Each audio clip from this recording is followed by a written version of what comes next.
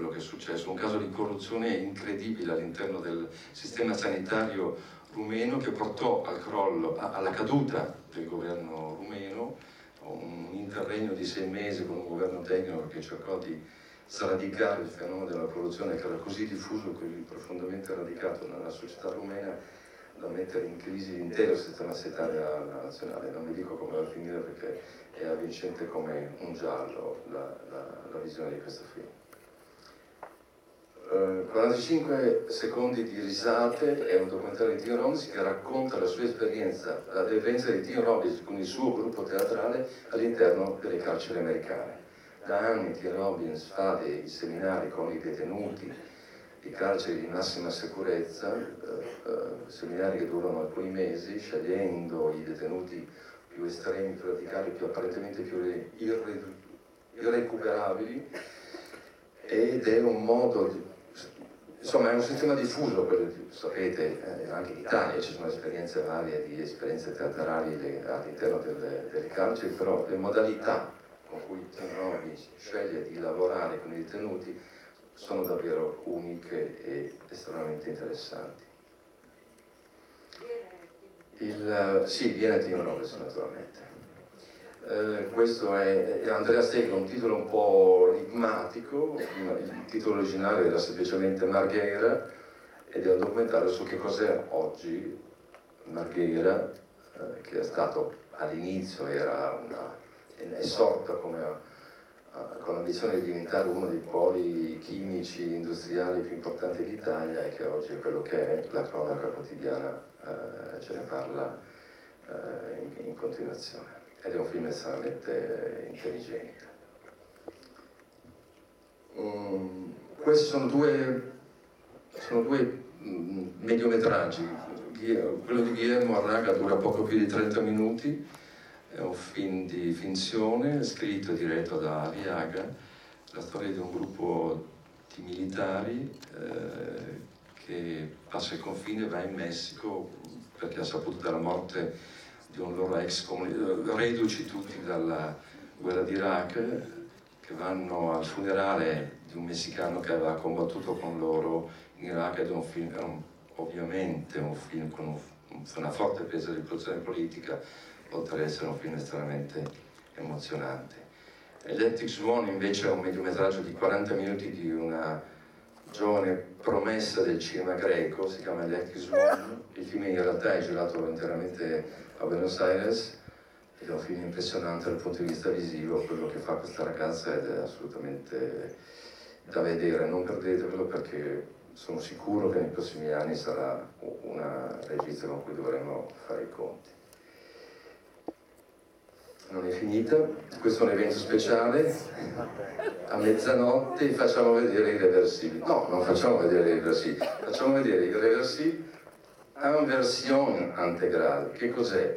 Qualcuno lo ricorderà. Nel 2003 a Cannes eh, il film fece scandalo e polemica, era un film violentissimo, con una sorta di compiacimento nei confronti della violenza quasi insopportabile Gaspar Noè ha deciso di... ed era un film stranissimo perché era un film raccontato al contrario, un film era fatto per blocchi piani sequenza, il film incominciava con l'ultimo e si andava a ritroso.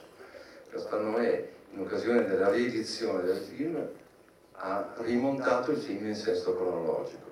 E vi assicuro che il risultato è assolutamente sorprendente, non che pensi a meno sgradevole perché continua a esserlo, ma è ancora più forte della versione originale e, e le due versioni usciranno contemporaneamente in Francia a, a settembre in riedizione in, nelle sale cinematografiche. Mm, da, da, alcuni anni, da parecchi anni ormai la Mostra del Cinema presenta ogni anno uh, serie uh, televisive, la parte di cinema che si chiama serie tv eh, quest'anno sono due le serie che proponiamo. La prima è 000 di Stefano Sollima. Stefano Sollima è all'origine di questo progetto, eh, nel senso che ha partecipato al team creativo che ha trasferito in sceneggiatura eh, il, il um, testo di eh, Saviano. Um, ha, ha diretto uh, una parte degli episodi, non tutti, altri sono diretti da Trapero e, e, e, il terzo regista si chiama credo Janusz Metz. Um, questa serie di cui faremo vedere il primo e il secondo episodio e la serie successiva che è The New Pope, cioè la seconda serie dedicata di, di Paolo Sorrentino, sono entrambe prodotte da Sky. Eh, con grandi partner internazionali diversi per le due serie. Uh, 000 è realizzato produttivamente da Catleya e New Pope è realizzato invece da Wildside. Um, sono due modelli ovviamente diversi, eh, antitetici vorrei dire, di, di, di serie televisive estremamente interessanti, grande attesa per il ritorno di Paolo Sorrentino, ma soprattutto grande attesa per vedere che cosa ha fatto Solima del, del lavoro di ricerca uh, sul, com, sulla diffusione del commercio della droga uh, di, di Saviano, facendo invece una serie estremamente avvincente che non solo non ha nulla da invidiare alle serie, grandi serie americane di grande successo, ma forse anche qualche punto in più. E insomma mi fa piacere, mi sembra giusto che Venezia offra una ribalta per, eh, per, questo lavoro straordinario che le produzioni italiane e Sky, con un grosso investimento, un grande investimento anche economico, di mezzi, di qualità, con la volontà di fare delle serie capaci di stare al passo con le grandi serie americane, eh, danesi, israeliane, eccetera, misurandosi da, da pari a pari con modalità narrative, linguistiche, formali, eccetera. Ecco, credo che questo... Ah no, c'è ancora un evento speciale. Uh, nel 1999, ricorderete, successero due cose, la scomparsa di Stanley Kubrick e la, presen- la presentazione mondiale del suo ultimo film Iron Wide Shut. Uh, Venezia aprì con la uh, con Eyes Wide Shut, Kubrick era morto da pochi mesi, ehm, per ricordare eh, questo grandissimo regista e il suo capolavoro che all'epoca ebbe un'accoglienza mista, fredda, come spesso era successo a Kubrick nella sua carriera e che oggi invece ne è ricordato come uno dei suoi capolavori.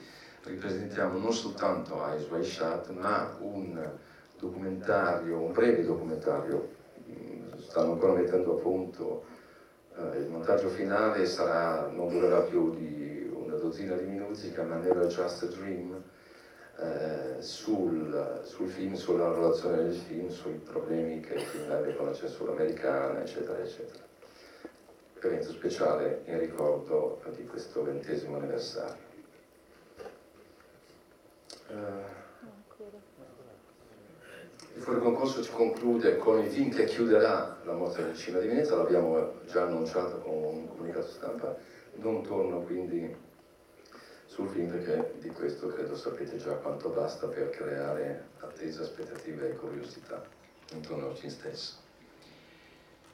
Uh, no, non è finita, credo che fosse l'ultimo, no. invece c'è ancora Silberg, un altro film molto atteso con Kristen Stewart che interpreta Gene Silberg, un episodio che, della vita, un episodio drammatico della vita di Silberg.